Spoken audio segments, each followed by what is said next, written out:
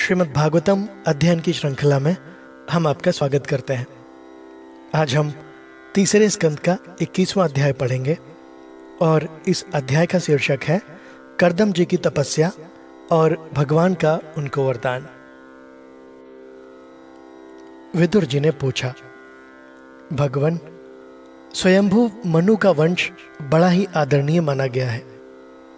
उसमें गृहस्थ धर्म के द्वारा प्रजा की वृद्धि हुई थी। अब आप मुझे उसी की कथा सुनाइए। ब्राह्मण आपने कहा था कि स्वयंभू मनु के पुत्र प्रियव्रत और उत्तानपाद ने सातों द्वीपों वाली पृथ्वी का धर्म पूर्वक पालन किया था, तथा उनकी पुत्री, जो देवहूति नाम से विख्यात थी, करदम प्रजापति को ब्याही थी। देवहूति योग के लक्षण यम आदि से संपन्न थी। उससे महायोगी करदम जी ने कितनी संतानें उत्पन्न की? वह सब प्रसंग आप मुझे सुनाइए। मुझे उससे सुनने की बड़ी इच्छा है। इसी प्रकार भगवान रुचि और ब्रह्मा जी के पुत्र दक्ष प्रजापति ने भी मनु जी की कन्याओं का पाणी ग्रहण करके उनसे किस प्रकार क्या क्या संतानें उत्पन्न की, यह सब चरित भी मुझे सुनाइए। मैत्रेय जी ने कहा, विदुर जी, जब ब्रह्मा जी ने भगवान करदम को आज्ञा दी कि तुम संतान की उत्पत्ति करो तो उन्होंने दस हज़ार वर्षों तक सरस्वती नदी के तीर पर तपस्या की। वे एकाग्र चित्त से प्रेम पूर्वक पूजनोपचार द्वारा शरणागत वरदायक श्रीहरि की आराधना करने लगे। तब सत्ययुग के आरंभ में कमल नयन भगवान श्रीहरि ने उनकी तपस्या से प्रसन्न होकर उन्हें अपने शब्द ब्रह्ममय स्वरूप से मूर्तिमान होकर दर्शन दिए। भगवान की वह भव्य मूर्ति सूर्य के समान तेजोमयी थी। वे गले में श्वेत कमल और कुमुद के फूलों की माला धारण किए हुए थे। मुख कमल नीली और चिकनी अलकावली से सुशोभित था। वे निर्मल वस्त्र धारण किए हुए थे। सिर पर झलमलाता हुआ सुवर्ण में मुकुट, कानों में जगमगाते हुए कुंडल और कर कमलों में शंख, चक्र, गदा आदि आयुध विराजमान थे। उनके एक हाथ में क्रीड़ा के लिए श्वेत कमल सुशोभित था। प्रभु की मधुर मुस्कान भरी चितवन चित्त को चुराए लेती थी। उनके चरण कमल गरुड़ जी के कंधों पर विराजमान थे तथा वक्ष स्थल में श्री लक्ष्मी जी और कंठ में कौस्तुभ मणि सुशोभित हो रही थी। प्रभु की इस आकाश स्थित मनोहर मूर्ति का दर्शन करके करदम जी को बड़ा हर्ष हुआ। मानो उनकी सारी मनोकामनाएँ पूर्ण हो गई हो। उन्होंने आनंद के साथ हृदय से पृथ्वी पर सिर टेककर भगवान को साष्टांग प्रणाम किया और फिर प्रेम प्रवण चित्त से हाथ जोड़कर सुमधुर वाणी से वे उनकी स्तुति करने लगे। करदम जी ने कहा, स्तुति करने योग्य परमेश्वर आप संपूर्ण सत्वगुण के आधार हैं। योगी जन उत्तरोत्तर शुभ योनियों में जन्म लेकर अंत में योगस्थ होने पर आपके दर्शनों की इच्छा करते हैं। आज आपका वही दर्शन पाकर हमें नेत्रों का फल मिल गया है। आपके चरण कमल भवसागर से पार जाने के लिए जहाज़ हैं। जिनकी बुद्धि आपकी माया से मारी गई है, वे ही उन तुच्छ क्षणिक विषय सुखों के लिए जो नरक में भी मिल सकते हैं, आपके इन चरणों का आश्रय लेते हैं। किंतु स्वामिन, आप तो उन्हें वे विषय भोग भी दे देते हैं।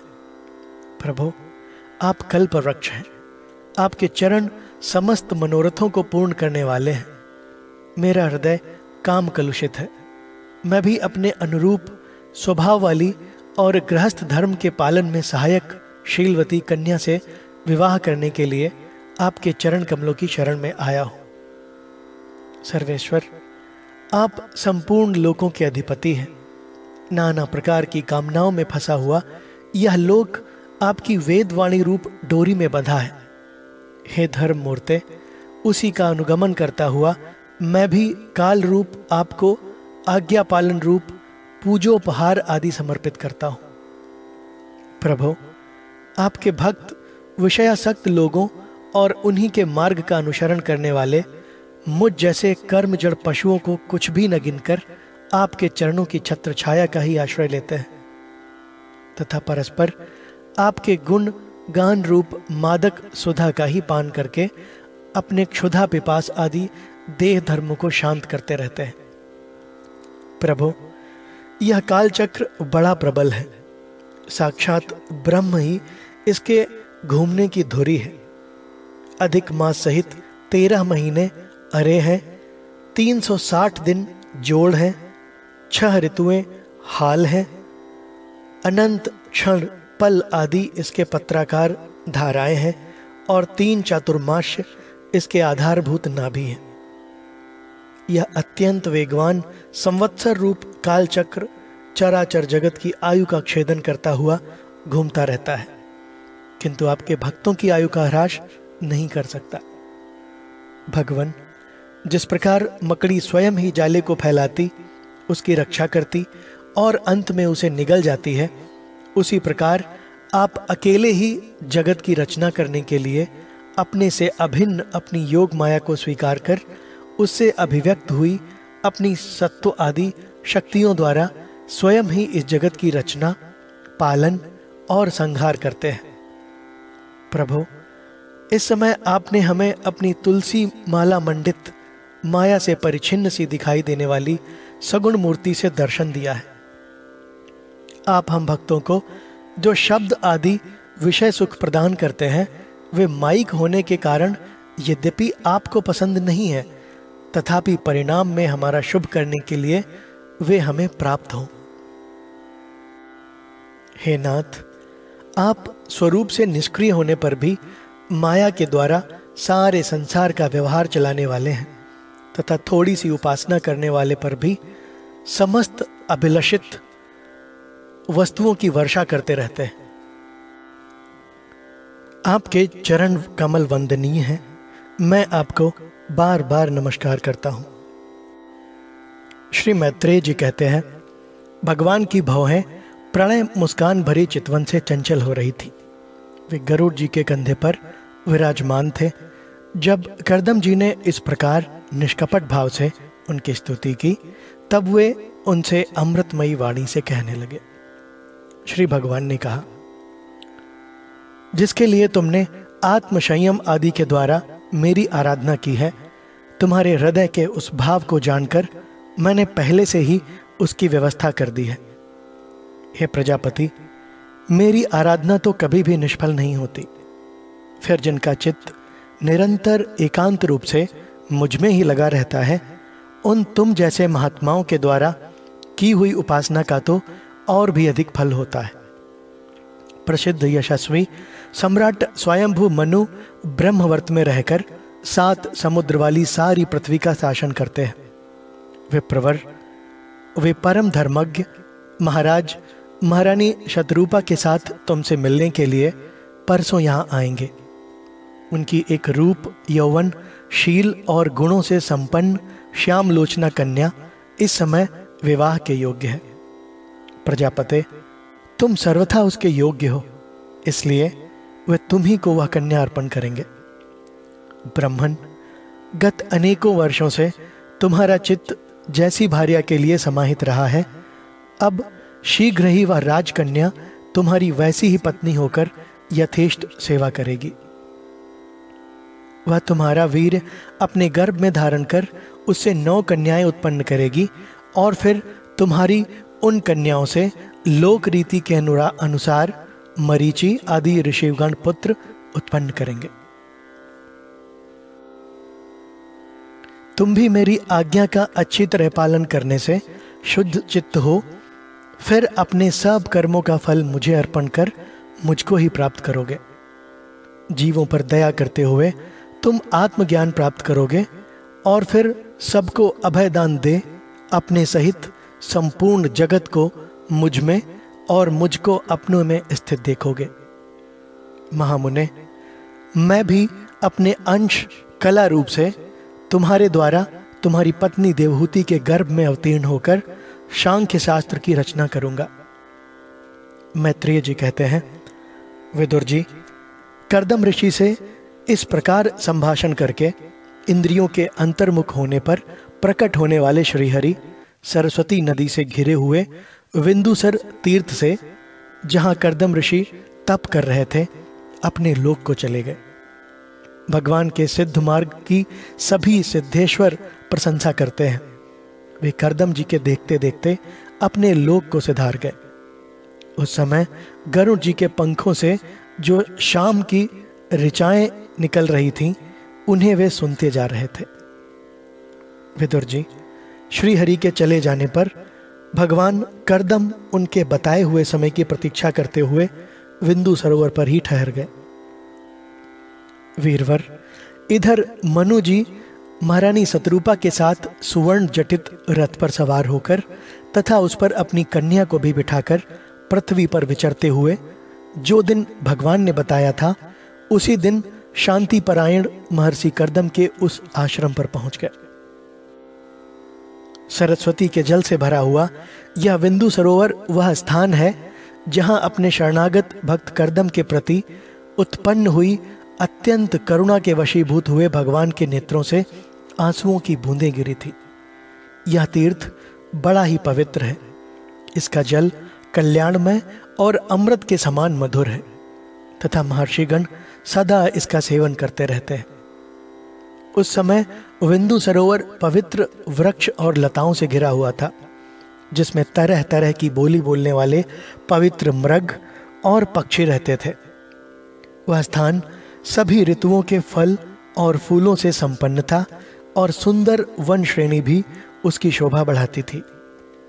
वहाँ झुंड के झुंड मतवाले पक्षी चहक रहे थे, मतवाले भंवरे मंडरा रहे थे उन्मत्त मयूर अपने पिक्ष फैला फैला कर नट की भांति नृत्य कर रहे थे और मतवाले कोकिल कुहू कुहू करके मानो एक दूसरे को बुला रहे थे।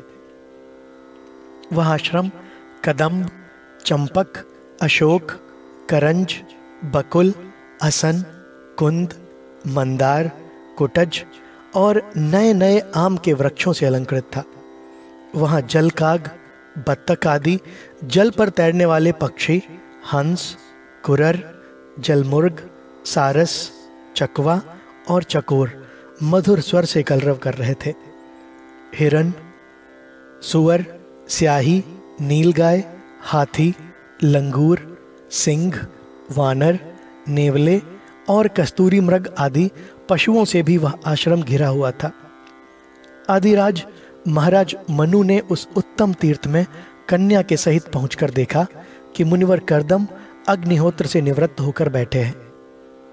बहुत दिनों तक उग्र तपस्या करने के कारण वे शरीर से बड़े तेजस्वी दीख पड़ते थे, तथा भगवान के स्नेहपूर्ण चितवन के दर्शन और उनके उच्चारण किए हुए कर्णामृत रूप सुमधुर वचनों को सुनने से इतने दिनों तक तपस्या करने पर भी वे विशेष दुर्बल नहीं जान पड़ते थे।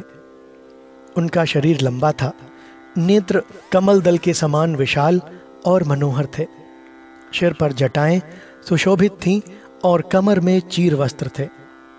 वे निकट से देखने पर बिना सान पर चढ़ी हुई महामूल्य मणि के समान मलिन जान पड़ रहे थे। महाराज स्वयंभू मनु को अपनी कुटी में आकर प्रणाम करते देख उन्होंने उन्हें आशीर्वाद से प्रसन्न किया और यथोचित आतिथ्य की रीति से उनका स्वागत सत्कार किया। जब मनु जी उनकी पूजा ग्रहण कर स्वस्थ चित्त से आसन पर बैठ गए, तब मुनिवर करदम ने भगवान की आज्ञा का स्मरण कर उन्हें मधुर वाणी से प्रसन्न करते हुए इस प्रकार कहा, देव, आप भगवान विष्णु की पालन शक्ति रूप हैं।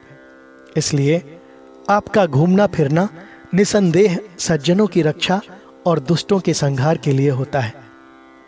आप साक्षात विशुद्ध विष्णु स्वरूप हैं तथा भिन्न भिन्न कार्यों के लिए सूर्य, चंद्र, अग्नि, इंद्र, वायु, यम, धर्म और वरुण आदि रूप धारण करते हैं। आपको नमस्कार है। आप मड़ियों से जड़े हुए जयदायक रथ पर सवार होकर अपने प्रचंड धनुष की टंकार करते हुए उस रथ की घरघराहट से ही पापियों को भयभीत कर देते हैं। और अपनी सेना के चरणों से रौंदे हुए भूमंडल को कपाते अपनी उस विशाल सेना को साथ लेकर पृथ्वी पर सूर्य के समान विचरते हैं।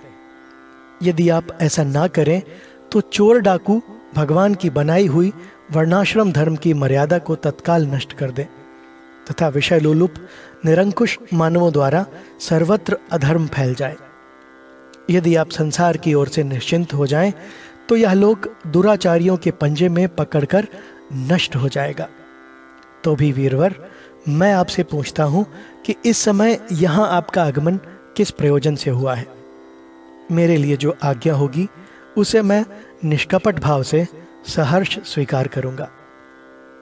इस प्रकार श्रीमद् भागवतम के तीसरे स्कंद के अंतर्गत इक्कीसवां अध्याय संपूर्ण हुआ। श्रीमद् भागवत महापुराण की जय।